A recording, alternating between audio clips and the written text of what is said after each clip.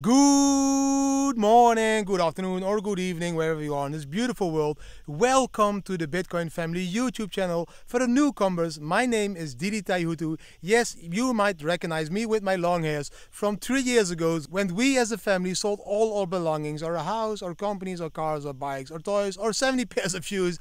We went all into Bitcoin and started traveling the world. Now, three years later, still traveling the world, coming to you guys from a beautiful area around Alicante in Spain with these amazing views, talking to you about Bitcoin, blockchain, and life. In today's video, I'm going to share an amazing chart with this magical number on how many days it will take to break last time's all-time high of 20k. We are also going to talk about Litecoin, we are also going to talk about Ethereum, we are also going to talk about Chainlink, and also talking about Dash and the co-op between Dash and Tauros.io that is now making it possible for millions of people to spend their cryptos in millions of stores in Mexico. I will end the video talking about some countries like Russia and India that again want to ban crypto, but other countries like Switzerland, where the first official government bank is now going to launch their crypto services. A lot of cool information in this video. Enjoy it to the fullest, guys.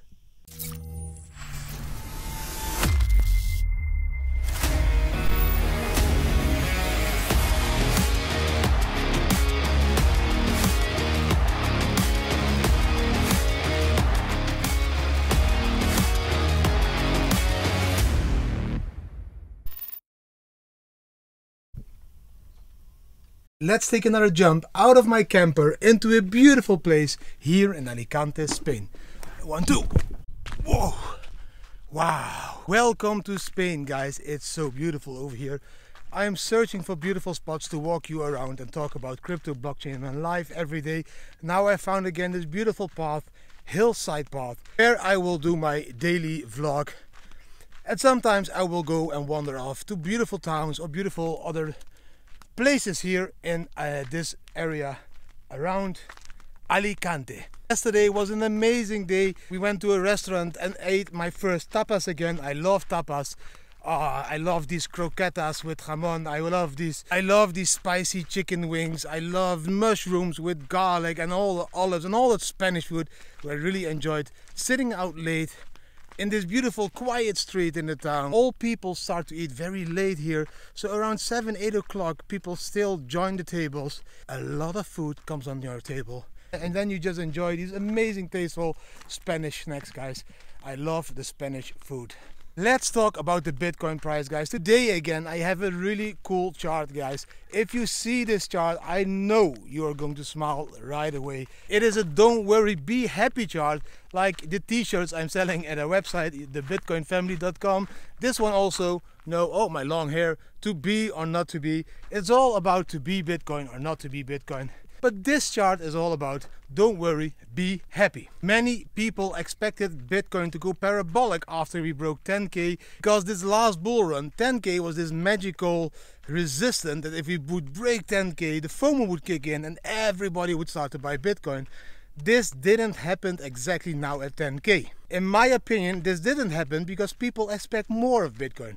I think the FOMO will only kick in when we will break the old all-time high around 20k. I think then the FOMO will start to kick in and then people will again realize, oh shit, I should have bought around 10k because 20k is too expensive and then they will wait again and then they start to doubt again and then when Bitcoin reaches 25k they start to buy and that will be the new 8% of people that in the future will be in loss because they bought Bitcoin at a too high price. I would buy Bitcoin now. I'm not a financial advisor. I'm just a long haired dude walking these beautiful areas in Spain and the rest of the world talking about crypto, blockchain, and life. But there's a really cool thing called TA and charts. And if you look to the history of charts, you can get like a little bit of an idea what is going to happen today or in the future. The view is getting even better when I walk this direction. I will show you the view in a minute, but first let's take this beautiful chart, this one. Bam! On the left side on the chart guys, you can see what happened in the bull run of 2017. That side is the left side. You can see on the left side of the chart that it took about 162 weeks, around 1134 days, before we hit the previous all-time high. So from the bull run, the first bull run, the all-time high, to again breaking this all-time high took us 162 weeks 1134 days so if you copy and paste this scenario from the last bull run into this bull run then we would be now around 959 days after the all-time high. This also means it will take another 175 days, this is about 5-6 months, till we reach last time's all-time high of 20k. This would put us somewhere in December, January. Again December, January, because December and January seem to be these months that Bitcoin is always peaking. So is this a coincidence? While I turn around and you can see the other side of this beautiful view I had, is this a coincidence? No, it's not a coincidence. It is the cycle. This is the cycle the Bitcoin has been moving in for the last 11 years, guys. So now in 175 days, we can expect Bitcoin to hit 20k again. This is around December, January. And it doesn't mean that Bitcoin is not going up now. Bitcoin can easily go up to 16k, even maybe 18k, drop again to 16k, drop again to 14k, and go again up to 16k, and back to 14k, and up to 16k. This is what we call sideways. So Bitcoin could easily go sideways again before to break this 20k resistance level in 175 days. These are really exciting times. I'm looking forward to the next six months because it's a beautiful game to play. I really think buying Bitcoin at this point is a very cheap buy because 20k is just the beginning. From the moment we will break 20k, that is exactly when all the fun is getting started. That is when Bitcoin will go parabolic. That is when Bitcoin will go from 20k to 100k, maybe even 200k or even 400k if it is up to some people in this industry. I believe 100k already is a very beautiful number for Bitcoin. So if you look to the right side of the chart, you can see the last top of the all-time high around 20k. If we draw a horizontal line and we take it to today, you can see it will take about 175 days before we will break this 20k resistance line. And from there, you can see this black line going up. This is exact copy of the last bull run. So if we would repeat the last bull run, we could take it all up to 400k. Not even a strange number because money is flowing into this industry on a daily base. The more all these governments are printing, the more is going to be invested in gold, Bitcoin, and other stores store of values or currencies that are a little bit more protected against the inflation that we are going to see in the next couple of years, also for the dollar and the euro, guys.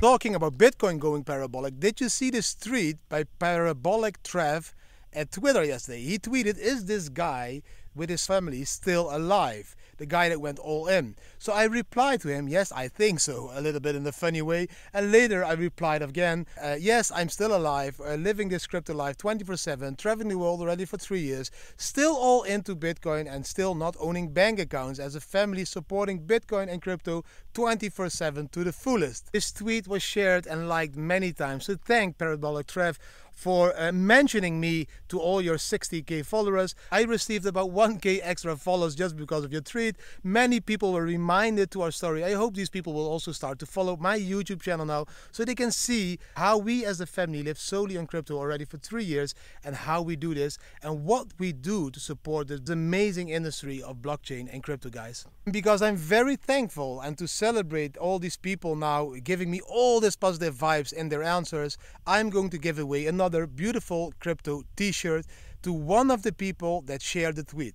I'm going to do this in two days, so you have two more days to retweet the tweet and leave a comment. And then in two days, I'm going to randomly select one of the people that retweeted the tweet and left a comment, and I'm going to send you a really cool Bitcoin t-shirt. You can choose the t-shirt yourself on our website, but I will give you a 100% discount coupon so you can buy whatever you want on our website. To get back to the story, does this mean now that um, we will go up right away, that we will go to up to 100k now right away. No, because if you look to the four hour chart of Bitcoin and we take a look at this chart, bam, this chart, you can see that in the four hour chart we can see a head and shoulders. This could mean that this head and shoulder pattern will lead to a drop in Bitcoin probably then to 10,500 US dollar or maybe even a little bit lower between 10,000 and 10,500 dollar before Bitcoin is going to rebound again and try to break 11,500 all the way up to 12k. In my opinion, we still need to notice these Fibonacci retracement levels that I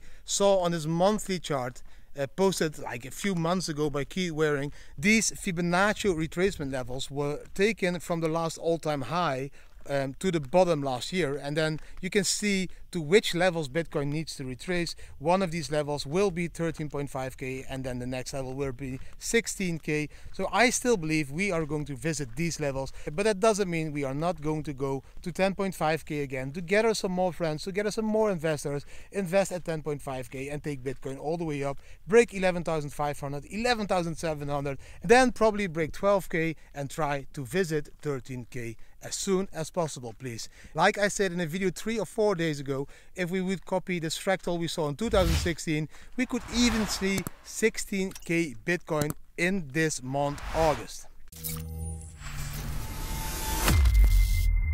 At the moment guys, Chainlink is one of the most popular cryptos around and that's not for nothing because 100% of the Chainlink hodlers are in profit. There is not one investor in Chainlink that is in loss everybody that bought Chainlink is in profit like you can see on this chart. Bam.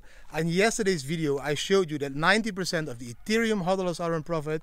On this chart, you can see that 100% of the Chainlink hodlers are in profit. For me, these are really cool numbers because if I look at these numbers, I can see that 90% of the Bitcoin hodlers are in profit.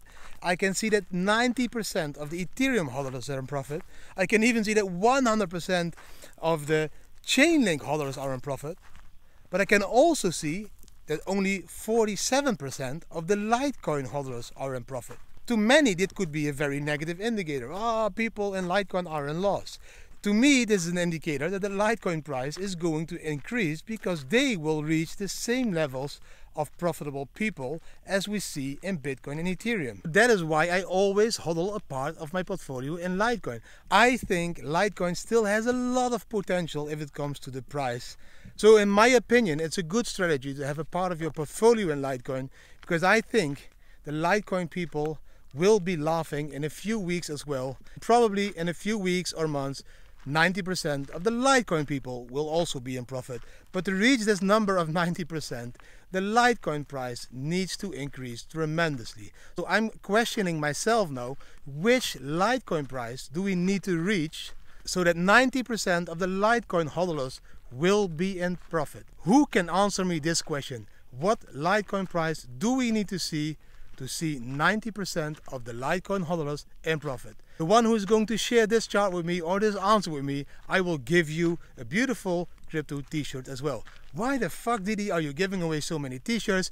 Just because I love this industry, just uh, because I want to share this positivity I feel in this industry, just because I want everybody in the world to walk around in t-shirts like this one, to be or not to be, or born to break free. Just visit our shop and you will understand why I like these shirts.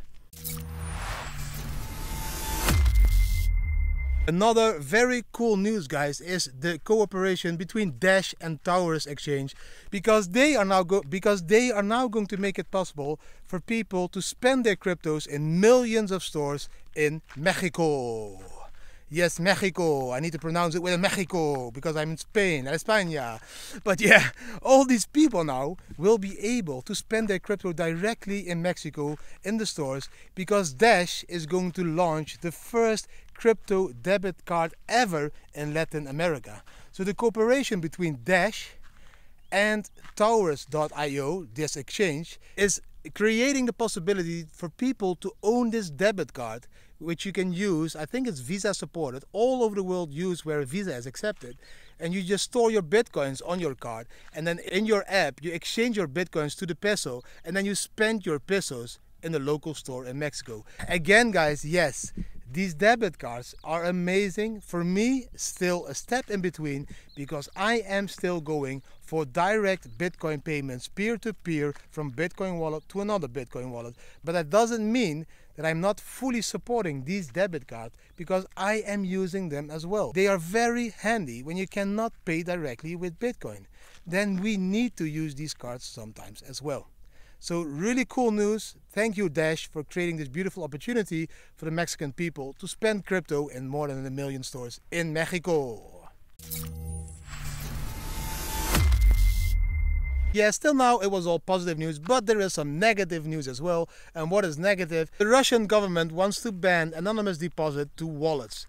I don't know why they want to do this. Russia is not very certain in what they want. Do they want to accept crypto? Don't they want to accept crypto? There are more countries like Russia that are not very eager to adapt to this new evolution of money, like India. Also, India now announced again they are going to look how to ban crypto they just gave a green light, I think it was February or March, to all the banks to support cryptocurrency companies, and now again they want to ban it.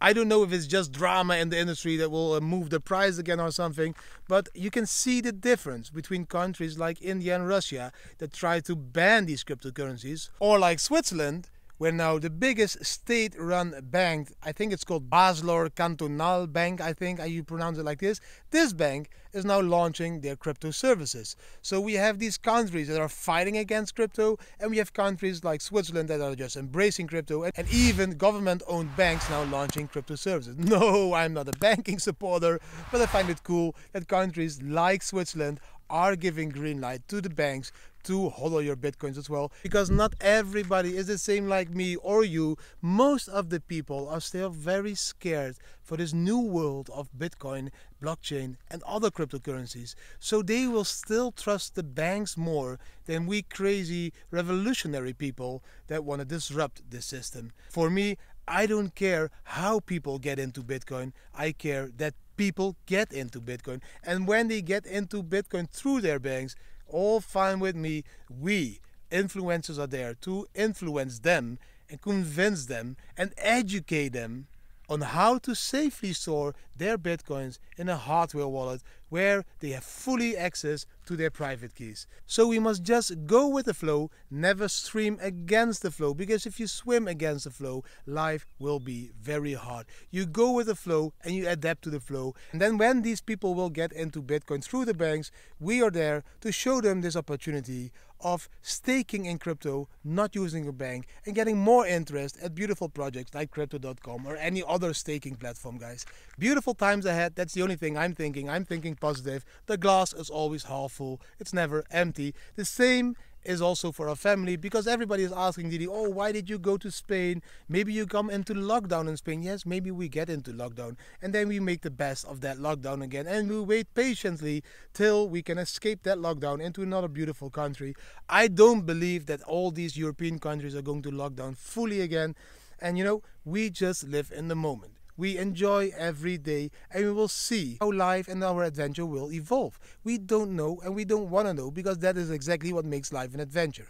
That is why I always end my video with the same. I'm going to end with the same saying again. You need to zoom out in crypto and you need to zoom in at life. You need to enjoy every single minute of the day because that is exactly what makes life worth living. I hope you enjoyed this video. If you did enjoy the video, please give the video a thumbs up, share it with your community, subscribe to our channel, hit the notification bell so you'll be notified on every new video, and yes, leave a comment because I love to respond to your comments. Thanks for watching today and hopefully see you tomorrow again guys. Bye!